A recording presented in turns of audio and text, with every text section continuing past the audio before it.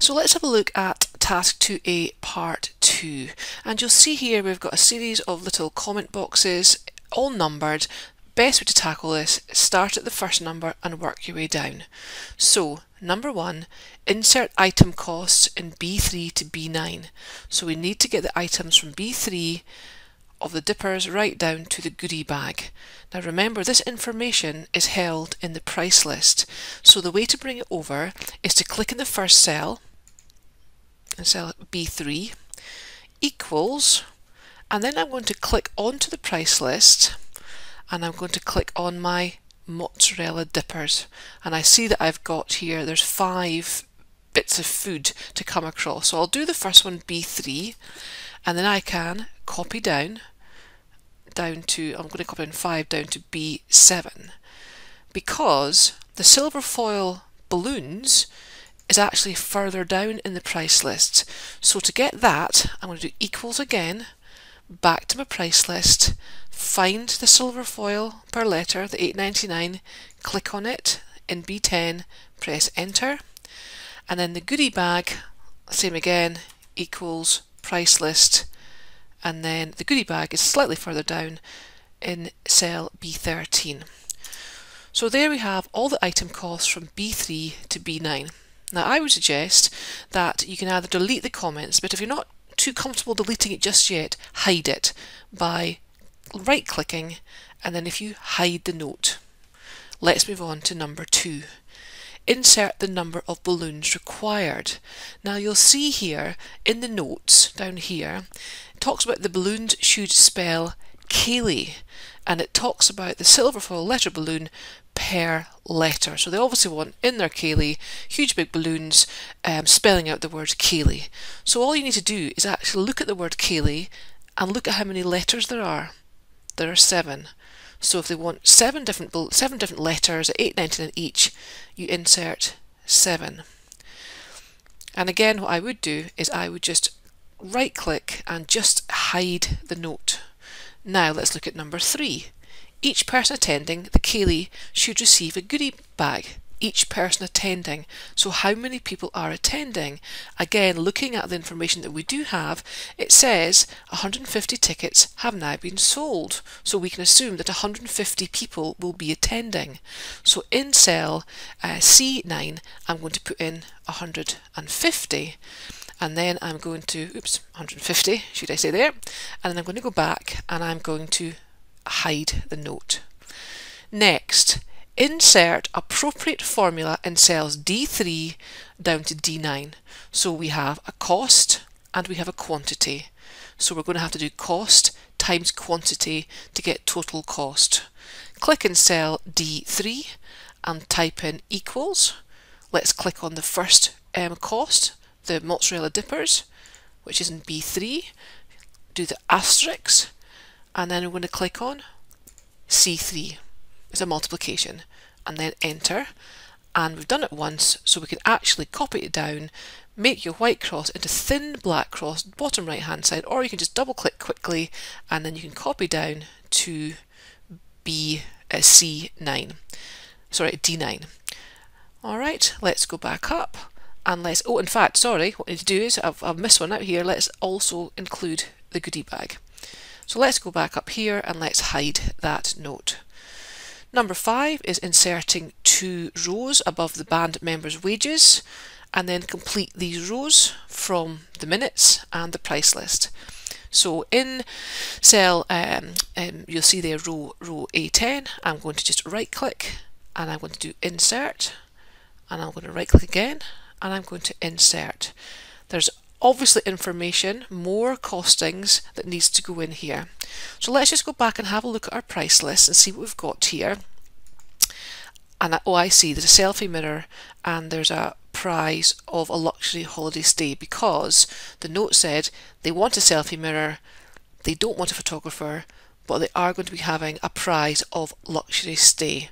So I'm going to type in here selfie mirror I can actually put in the quantity because I know it's one of and they also want the price of the luxury hotel stay and we know they're looking for two of that.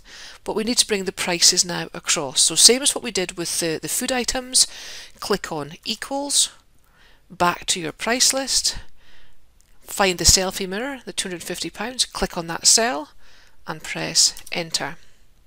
Same with the price of the luxury uh, stay, equals, go back to the price list and the luxury stay is there and that's you brought it across. Now what I can do is I can hide that note. Alright, and actually what I could do here is because I've now got more, more costs here, I could just copy the formula down here to incorporate the selfie mirror and also the luxury hotel stay. Let's have a look at number six. Number six is asking us to insert a formula to calculate the band members' wages. Now if you remember from the price list, we know we're going to pay them £25 on a basic rate and £35 for an overtime rate. They're probably getting overtime for working late into the night.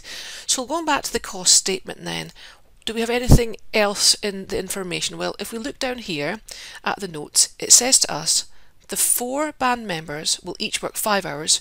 Two of these hours will be paid at an overtime rate. So they're working for five hours. So if two hours are overtime, that means that three hours must be the basic rate. So what we're thinking here is we have to take three hours at the basic rate plus two hours at the overtime rate and apply that to all four band members and this is how we do it. So in cell D12 and you'll notice there's grayed out here so this is indicating this is not for you to put anything in here the whole formula has to go into the one cell in D12.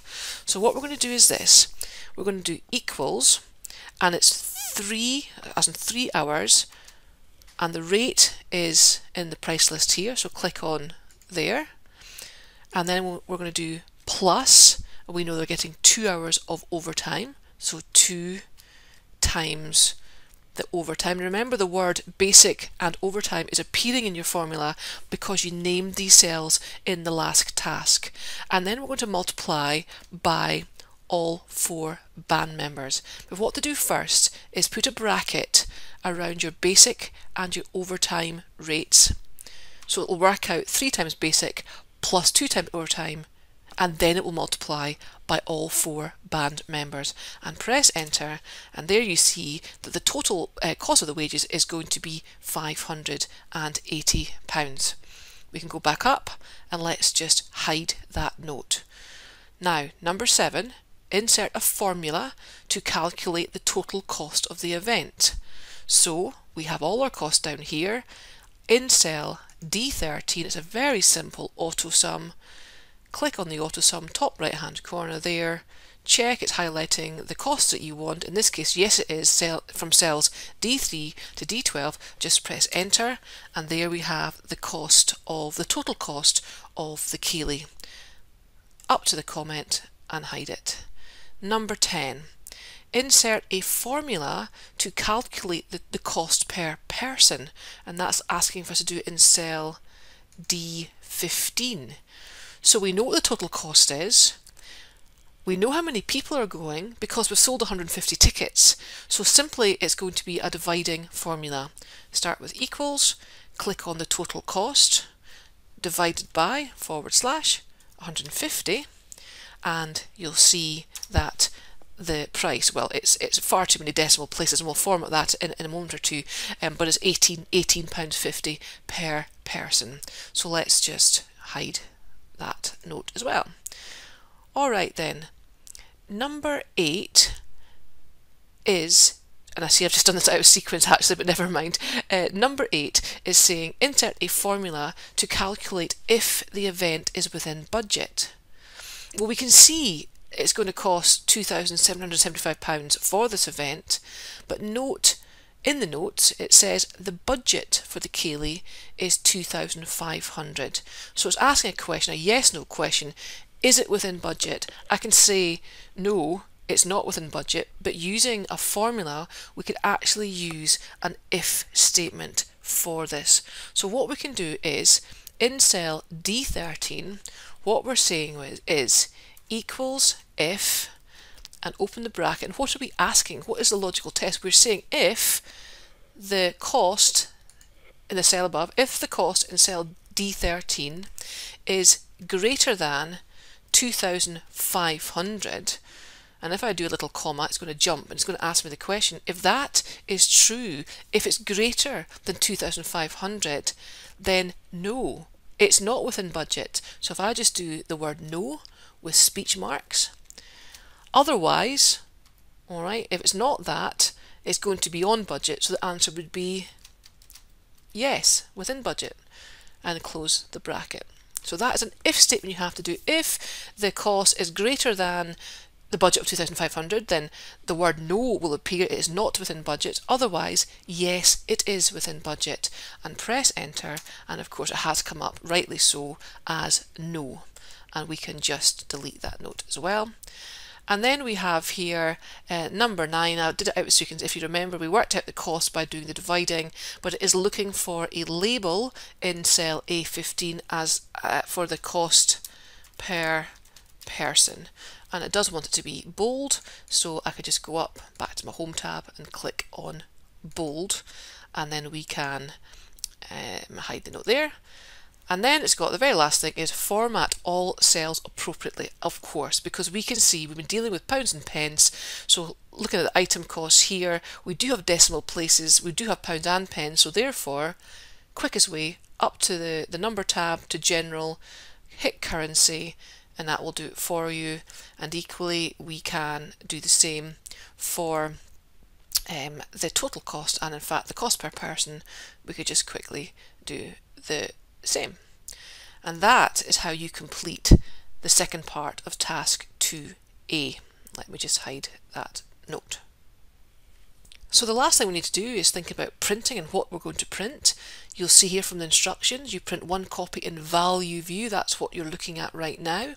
Portrait with grid lines only. So what I suggest you do is I first of all highlight the data that you are going to be printing, go to page layout, check orientation and we are sitting in portrait that's what we want that's absolutely fine if you go further along and look to sheet options you'll notice there that the grid lines and headings are ticked. we can see the grid lines and the row and column headings but for printing purposes I'm going to check the grid lines box for printing but leave the headings box blank and that will ensure I'm printing off the grid lines only Second sheet you have to print off is same but showing formula. Remember to show formula is you hit the control key and the shoulder key, that's the button below the escape key and that uh, brings your formulas up. Remember also that if you have a situation where you have quite a long formula and it's not all seen, please make sure that you widen your columns to make sure that the full formula can be seen. And equally for printing purposes you could actually narrow your columns down just a little bit to make sure that everything is going to fit when you print it. And remember this one has to get changed to orientation to landscape. And then also it is for grid lines and for the row and column heading so you've got to go back and you've got to check that box as well to bring it back to what you had to value view, control, shoulder key brings it back. Because I narrowed a few columns, I'm going to have to widen them just again, just so we can we can see them. And then the last thing is just to remind you that when you are printing, you need to ensure that you put a footer on your document to show your name and your candidate number. And remember to go to footer, insert, along to the text box and then you've got your headers and footers options there. So that is how you do Task 2A, Part 2.